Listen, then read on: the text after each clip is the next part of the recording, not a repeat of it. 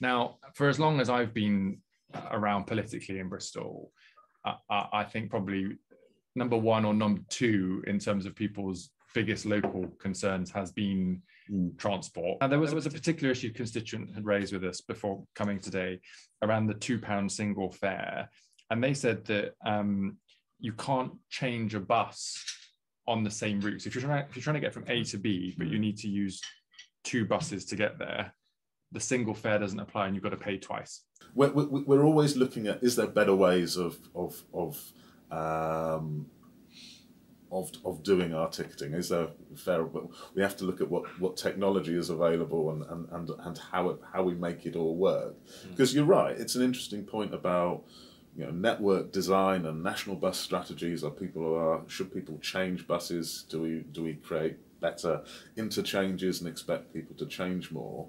Well, we've got to be very careful that we don't sort of put people off by not only the, the, the change, but because of the fare structures don't work as well. Mm. So it, it, you're right. Um, if if if you use uh, more than one bus, but I think the six pound day ticket still represents very good value for money. There was a particular case from a parent where their kid was trying to come home from school. They paid the single fare. They got on the bus. The bus stops because the driver finishes his shift and gets off, mm. but the new driver doesn't turn up mm to finish that route. So the kids get on the next bus, but then they've got to pay again in order to use that one. I mean, clearly that's a that shouldn't be happening, right? No, it, sh- it shouldn't be happening. And I think the what we're doing in terms of the driver recruitment will make the whole issue go away. Um, so there is always going to be a driver to relieve the driver when he's finished his shift or he's on a break. And so so that, that that situation doesn't arise. That that let, that's the root cause of the problem. But you, are right. The, the, the, in in this instance, the second driver wouldn't know. Now, encourage people to, to get in contact with us because that, that's wrong. Someone wanted to make that complete journey, so we, we, we, we, we should refund that. So they should contact First Bus directly as opposed to talk to the bus driver. The bus driver will, as I say, well, unfortunately, we, we ask them to use their, discre- their discretion, but ultimately uh, you know, sometimes people you know, will make a judgment and the best judgment they can with the information they have and, and might ask for, um, for, for, for an additional fare. But someone said you've obviously made the reductions in single fares, mm. but I don't think those have been applied to weekly or monthly passes. Is there any plans to, to do that? One of our commercial challenges is that we only have currently we carry about 75% of the people we had uh, prior to the pandemic.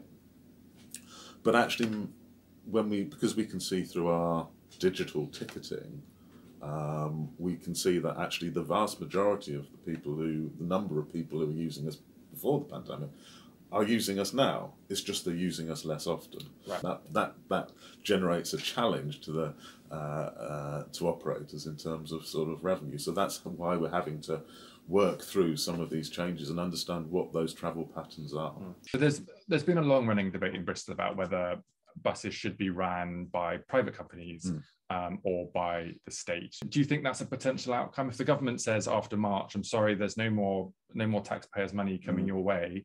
I mean, you're just going to have to put the price up, aren't you? No, not not necessarily. I think one of the things that the uh, uh, the private sector can do is be much more entrepreneurial to really try things out and, and, and, and, and that two pound fare is something that we did ahead of the government scheme to to to to to, to have that two pound headline fare.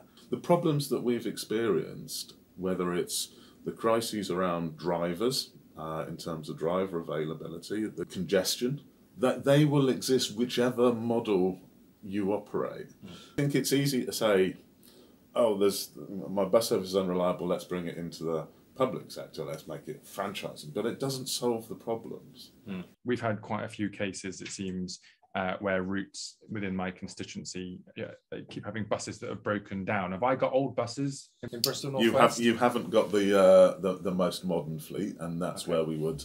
Uh, why why, why why is that? Why, where's the modern fleet gone? The modern fleet is on Metrobus. Uh, the modern fleet um, is is often used on some of our East Bristol services because when we introduced those, there were sort of air quality issues in, in, in Old Market. But we, we have real aspirations to uh, to improve the quality, but also around how do we improve the frequency and the reliability and the punctuality uh, of services. Because, uh, as I say, I think when you look at the, the three and the four, we do need to improve the reliability of that, and the driver recruitment that we're doing will have a massive impact in terms of making that more reliable. In April, we're using a, um, a whole suite of sort of new technology, which is enabling us to better timetable services which is based upon you know, you know, capturing the sort of the, the data around from satellite navigation and every, everything else to actually capture the real time running information, the history of our bus services to make it much more punctual. Mm. So the services that we're planning for, for, for, for April, we're really confident where we've trialled it, we've actually improved the punctuality around by about 15% and, and we're bringing that to the routes in your constituency in April. So. And that will deal with what one of my constituents has called ghost buses, where it shows up on the app that the bus has arrived, but they're stood on the bus stop and it's not there. So presumably that will fix that problem, will it? It's it's it's part of that. That that problem is a is one we're working very hard to to, to remove, and it's about sort of how the data gets transferred between the various different sources of. So, for example, the uh, the, the real-time information boards at bus stops, that's controlled by the combined authority. Our app is controlled by us. It's not perfect yet, it's got better, and we're working very hard to make sure that, that it is entirely accurate. There was some uh, news coverage recently that said there might be a bit of uh, some tension uh, with the workforce here. There were some people, I think they were described as a whistleblower, um, who had quoted that uh, managers are non-existent now, all seem to disappear by 3 p.m.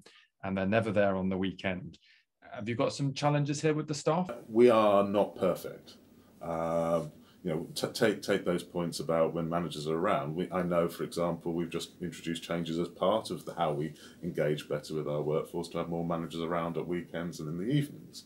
Um, so there's lots of things that we're doing. So you know, it, it, we are working incredibly hard with, with, with all our partners, whether it's the trade unions or others, to really improve the way um, that, and, and you can see that in the number of people who leave our industry or leave First Bus in, in, in Bristol are significantly reduced to below what it was prior to the pandemic. The services that we cut to make us run more reliably in November, we are confident that in April they will go back in. Um, so, you know, the driver campaign that we've been, recruitment campaign is working. We're hiring a lot of people at the moment and training a lot of people. It takes a little bit of time to come through. It takes six to eight, eight weeks to train a driver. Um, so we, we're confident those services will go back in in April. We, as I say, from within your patch, the sort of threes and fours will be more reliable in April and hopefully more punctual in April as well.